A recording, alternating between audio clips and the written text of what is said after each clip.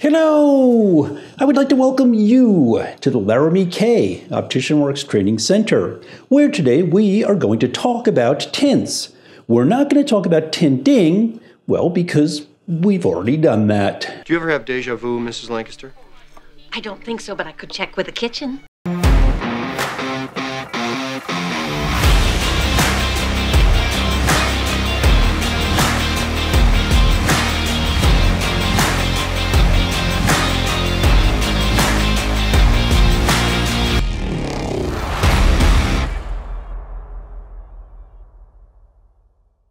Sure enough, tinting stuff, because I love to say stuff.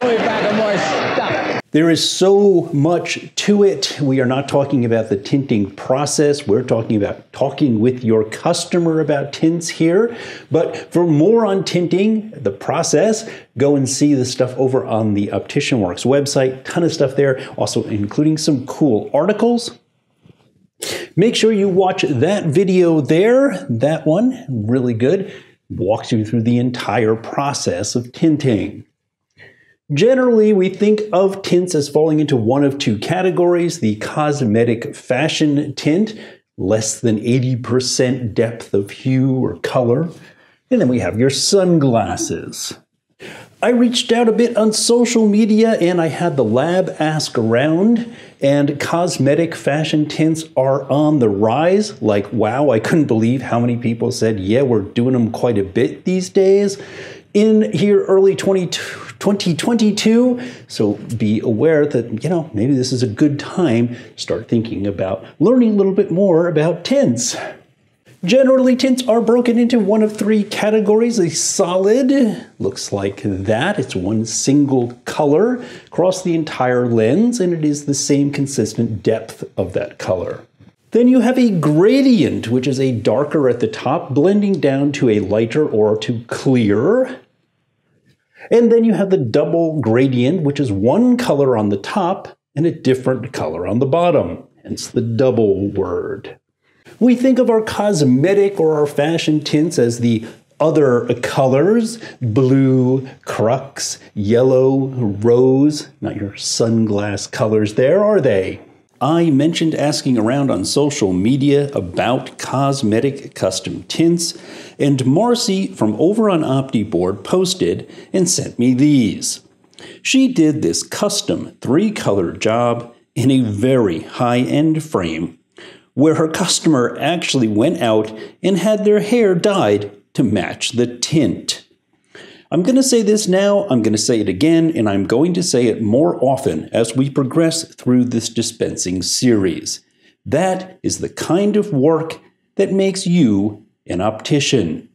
If you do a lot of cosmetic fashion tints, placing an AR on them is not a great idea. I'm, I'm really waffling on this one. Uh, if you do a whole lot of them and you learn what AR does, which lightens up the tint and kind of plays with its color a little bit, you get good at it. Well, then by all means, sell AR. You're adding, you know, 90 something dollars to each sale. That's a good thing. But for those that are not familiar with it, don't understand what happens when you put an AR coat on a cosmetic tint, you might want to kind of sort of shy away from it. And then we have our sunglasses category. That's kind of anything that's darker or of a deeper hue than 80%. There is absolutely nothing wrong with a plain old plastic lens tinted to a sunglass depth. Great stuff. Yeah, polarized is nice. It has its places, but it isn't required on every single job. You can also play with the depth of color on a non polarized lens a whole lot easier than you can on a polarized. So don't shy away from just plain good old fashioned sunglasses. 99.9% of the time when we think about generic sunglass kinds of stuff, we think of a solid every once in a while you may come across a gradient and somebody might be doing something a little odd. They might have a special application. But for our use today, we're thinking solid.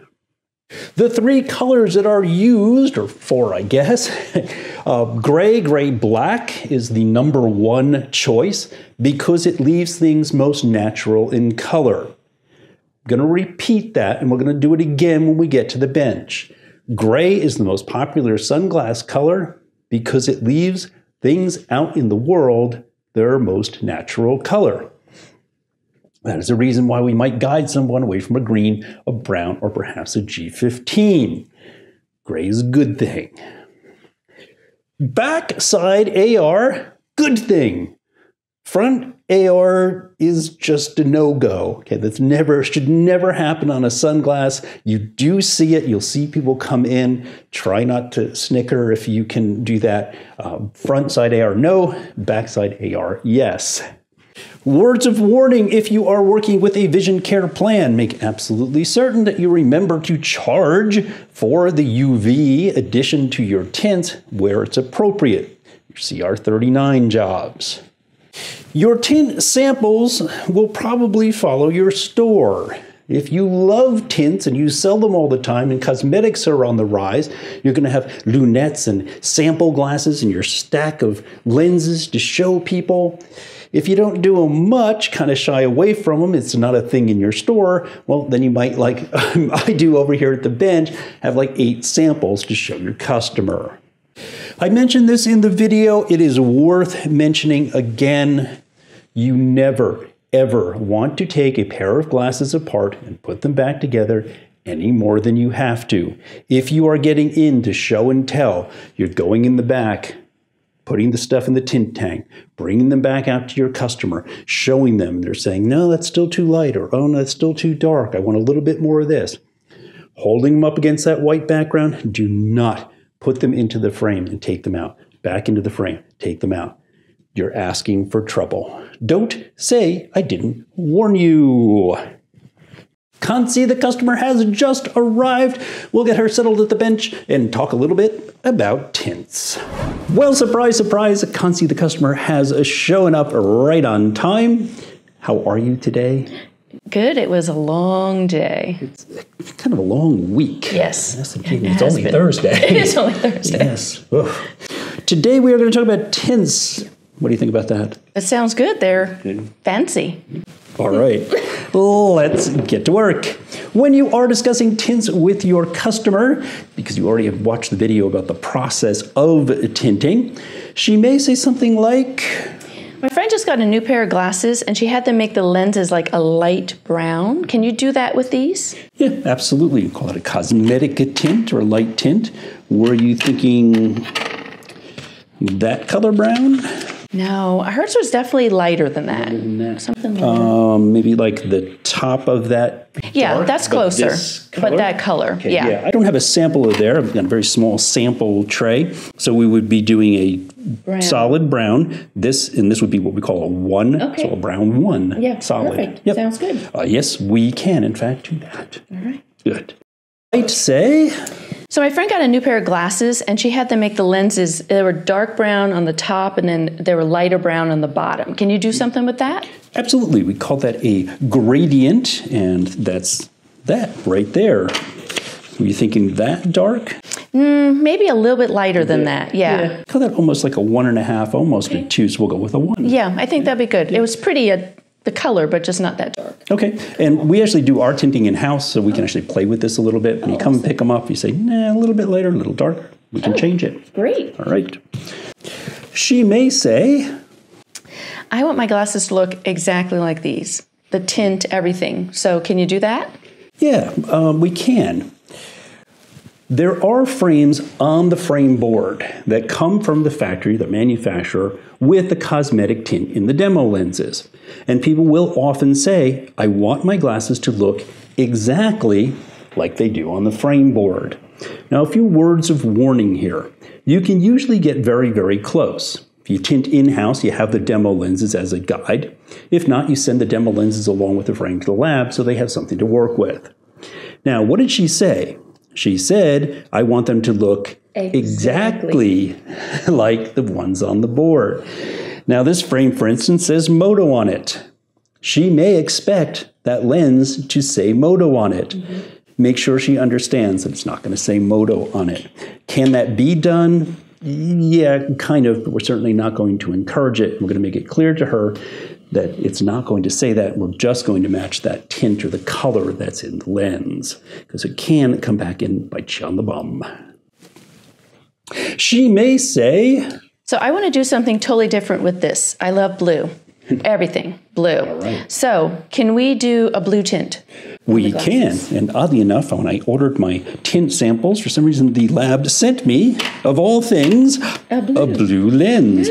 Were you thinking about that? Perfect. I love it. It would go with all different shades. right. Love it. Um, darker, lighter, the same? Just like that. Just like this. Okay, you would the blue gradient one in your new glasses. That'd be perfect. We can do that.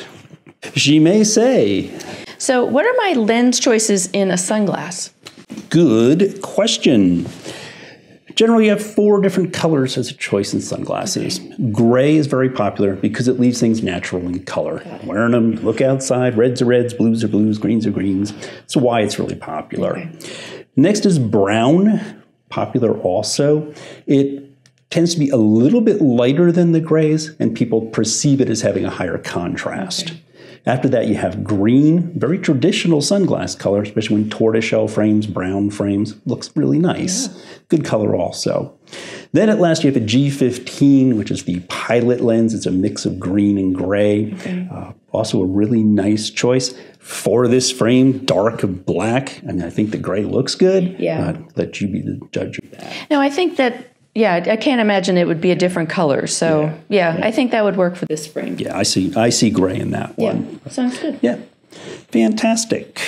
She may say, So I find sunglasses too dark for me. But, you know, when I'm on the boat, everybody makes fun of me. My husband just bought in a ridiculous expensive pair of sunglasses. "Did he buy it here?" Yes. It might even have been two because he likes a backup pair. So, but I prefer light. So, can I just get light sunglasses? Absolutely. Uh, we call this something like this. We call this an eighty percent.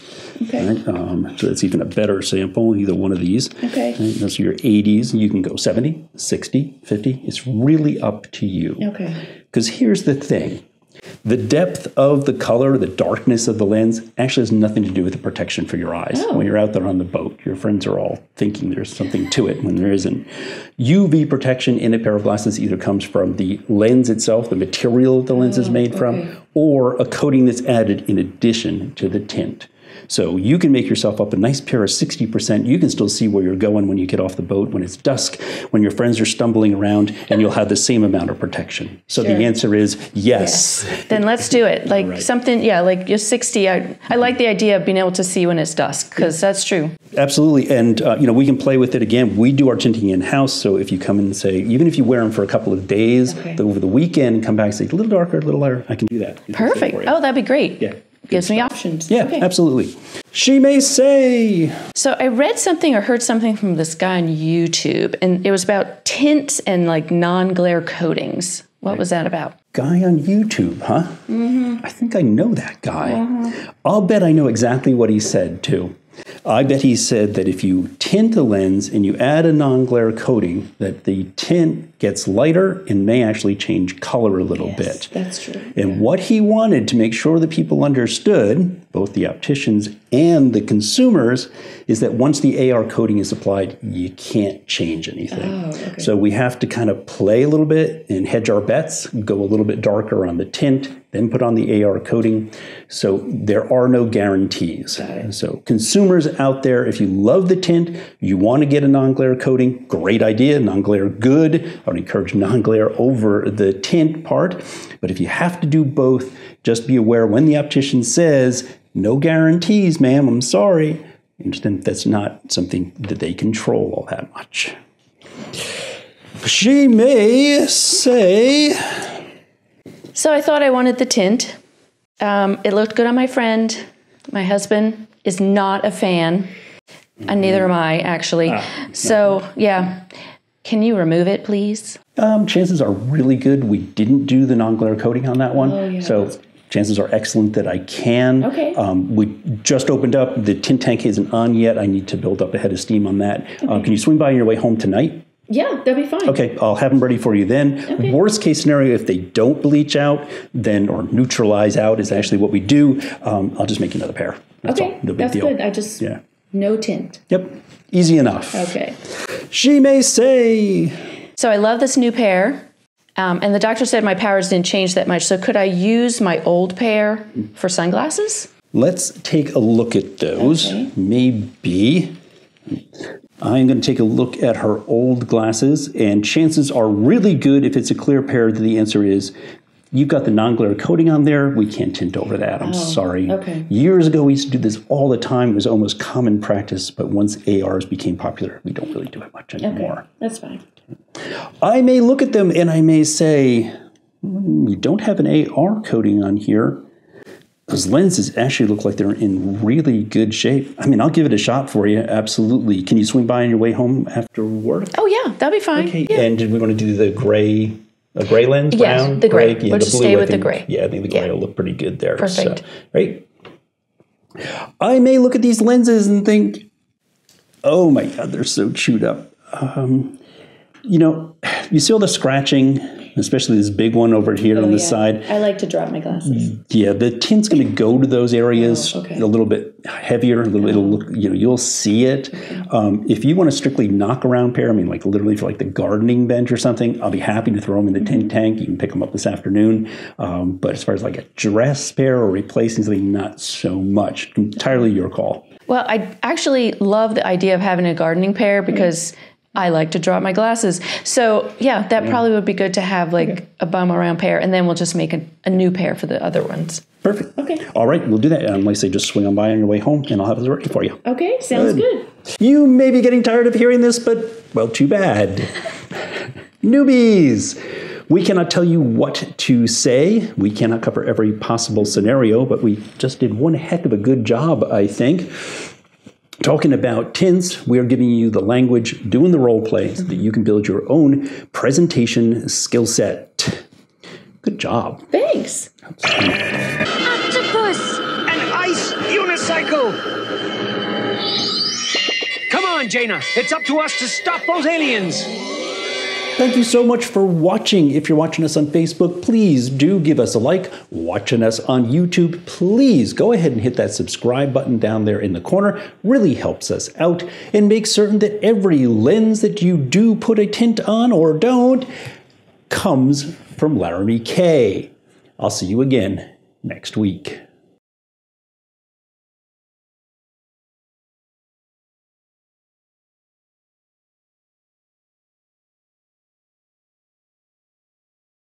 Because you put the anti, the anti, yeah, okay. Let's Try that again. Try that one again. All right.